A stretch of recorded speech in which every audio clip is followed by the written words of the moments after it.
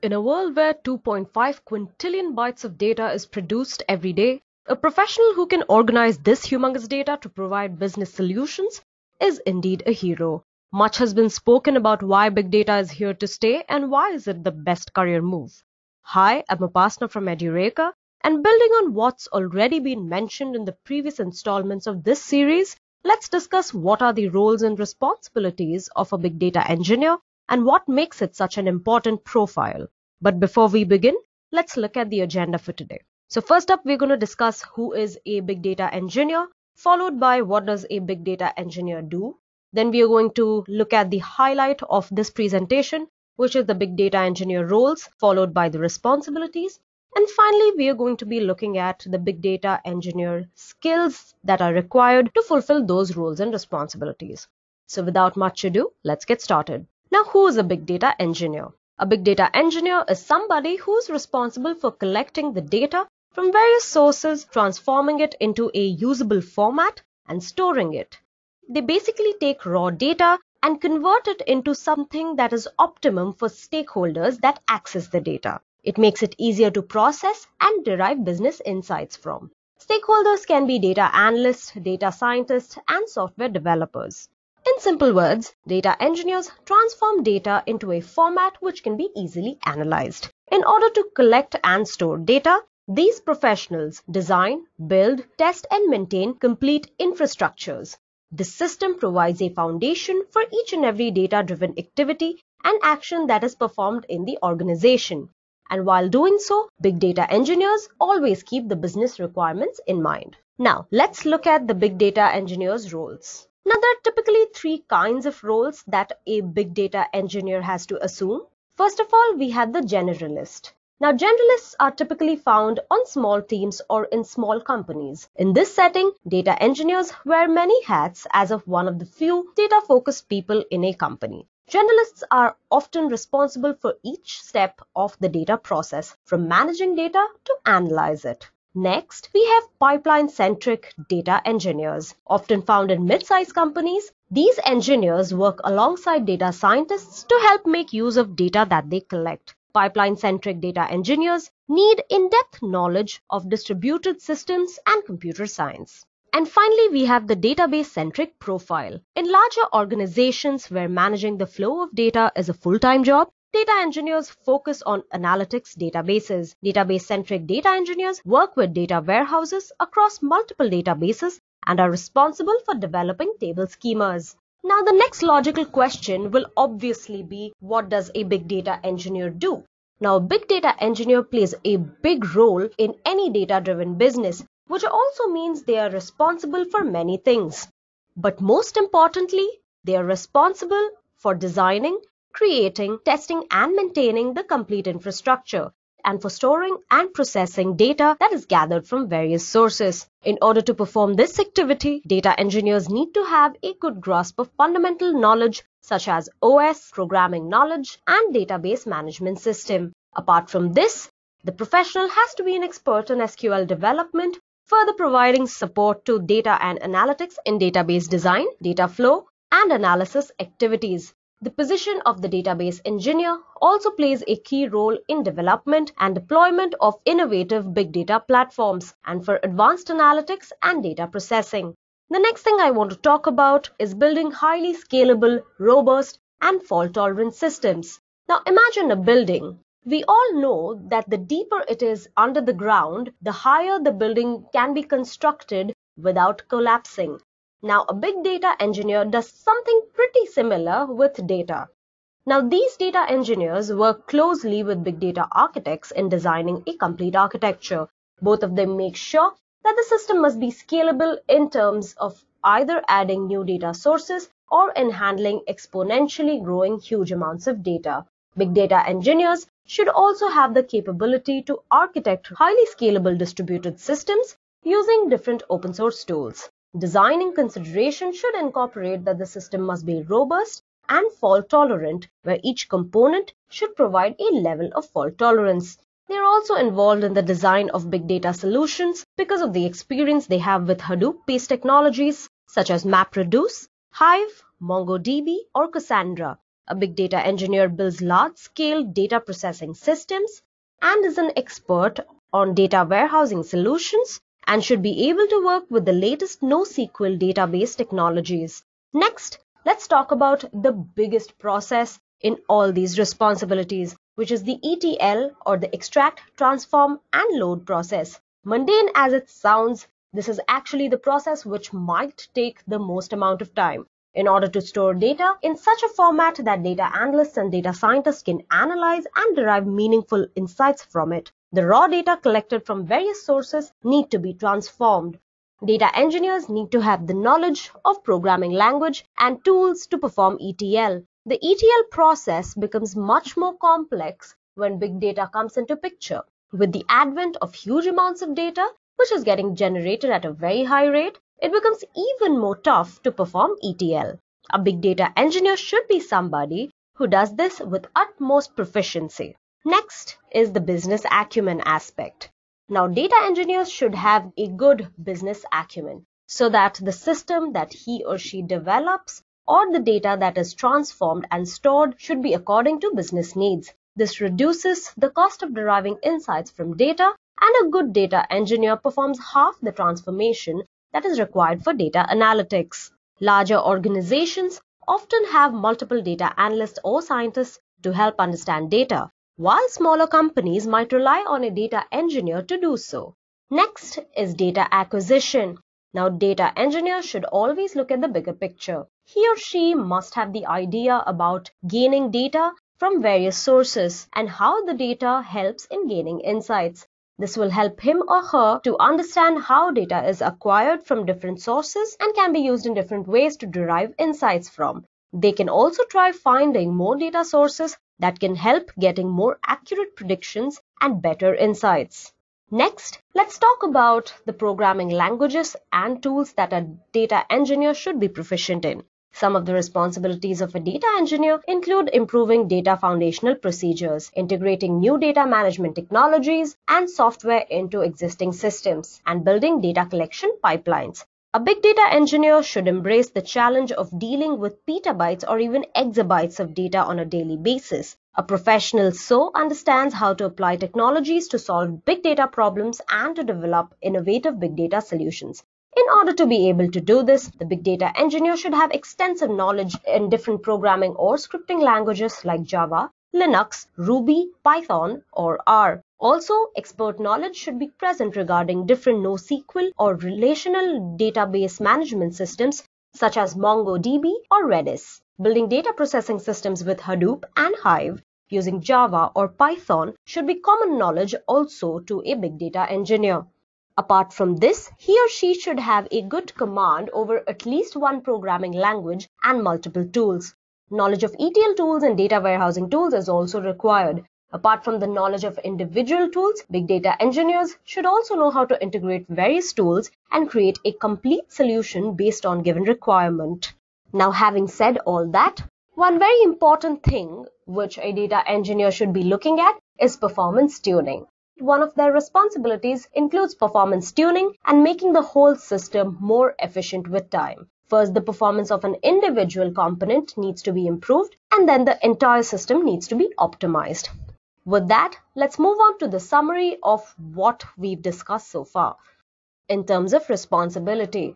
Now, with all that said, the basic responsibilities of a big data engineer boils down to these three things. First up, data ingestion.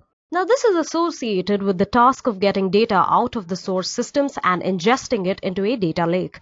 A data engineer should need to know how to efficiently extract data from a source including multiple approaches for both batch and real time.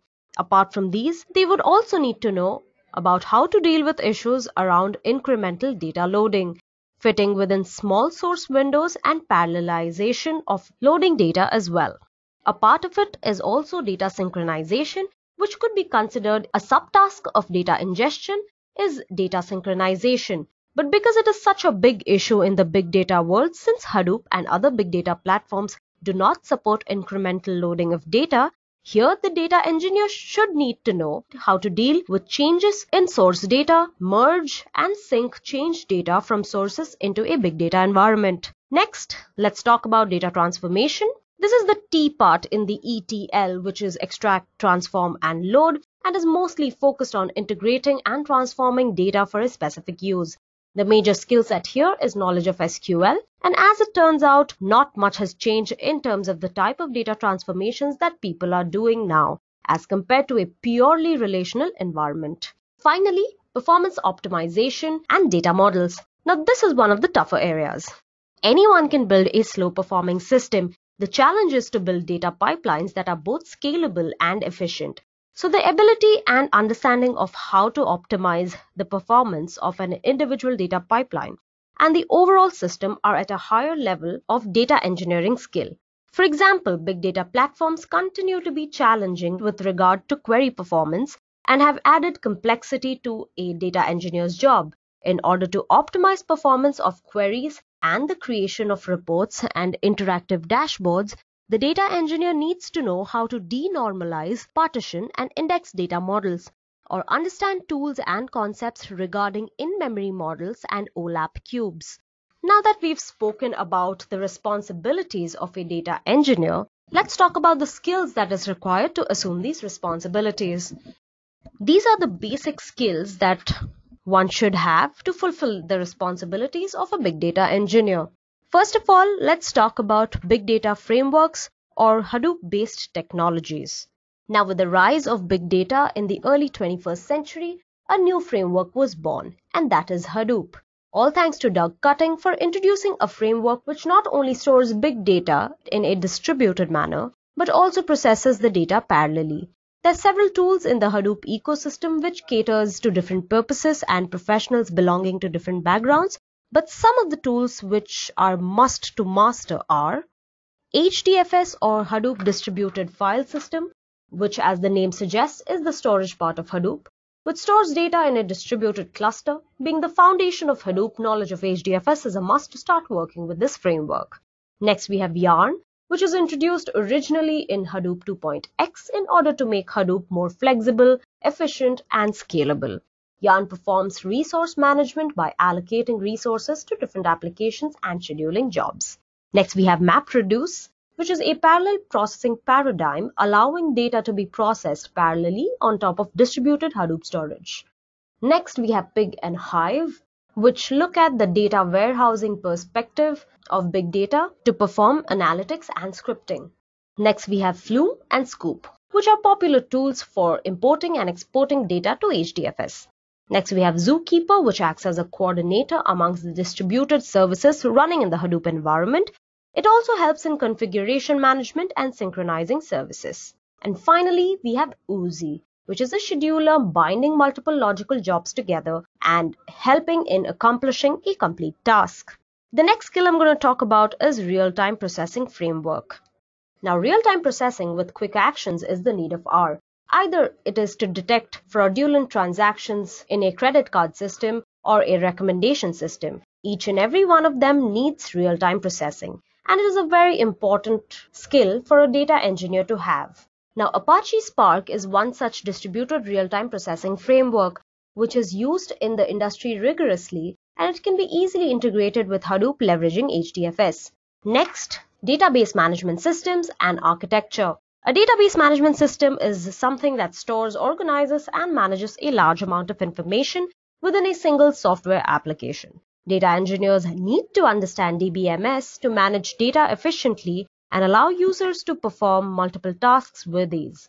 This will help the data engineer in improved data sharing, data security, access, integration, and minimize data inconsistencies. These are fundamentals that said professional should know to build a scalable, robust, and fault-tolerant system. Next, we have SQL-based technologies. Now, there are various relational databases that are used in the industry, such as Oracle DB, MySQL, Microsoft SQL Server, SQLite, etc. Now, data engineers must have at least the knowledge of one such database. Knowledge of SQL is also a must. Structured query languages is used to structure, manipulate, and manage data stored in relational bases. As data engineers work closely with relational databases, they need to have a strong command on SQL. Next, we have NoSQL technologies. As the requirements of organizations had grown beyond structured data, NoSQL databases were introduced. It could store large volumes of structured, semi-structured, and unstructured data with quick iteration and agile structure as per application requirements. Some of the most prominently used databases are HBase, Cassandra, and MongoDB. Next, we have programming languages. Now, various programming languages can serve the same purpose. The knowledge of just one programming language is enough, as the flavor changes but the logic remains the same. If you're a beginner, you can go ahead with Python as it is easy to learn due to its easy syntax and good community support whereas R has a steep learning curve which is developed by statisticians. Now R is mostly used by analysts and data scientists. Next we have ETL or data warehousing solutions. Data warehousing which is very important when it comes to managing a huge amount of data coming in from heterogeneous sources where you need to apply ETL. Now data warehouse is used for data analytics and reporting and is a very crucial part of business intelligence. It is important for a big data engineer to master one data warehousing or ETL tool and after mastering one it becomes easy to learn new tools as the fundamentals remain the same. Informatica, QlikView and Talend are very well known tools used in the industry. I would recommend you start with Talend because after this learning any data warehousing tool will become a piece of cake for you. And finally, we have operating systems. Apart from all these skills, Intimate knowledge of Unix, Linux and Solaris is very helpful as many math tools are going to be based on these systems due to their unique demands for root access to hardware and OS functionality above and beyond that of Microsoft's Windows or Mac OS. That was all about the skills. We have spoken more about this segment in a previous installment to this video. You can go and look at it to understand the skills you'll be requiring as a big data engineer in detail. Now, the road to being a big data engineer may not be easy, but we at Edureka want to help you make the best out of it. Now, the Big Data Masters program is designed in such a way that will help you gain weightage in the industry as a big data engineer. This 30 week course includes training on concepts such as Big Data Hadoop, Apache Spark, Cassandra, Apache Kafka, and Talend. Apart from that, it even has self-paced modules on Java Essentials, Apache Storm, MongoDB, and MapReduce. Your learning path looks something like this, but you can alter it any way you want. At the end of this program, you shall be awarded with a certificate which you can upload in your LinkedIn profile with just the click of a button. It will give you a great weight on your resume and credibility before your job interview.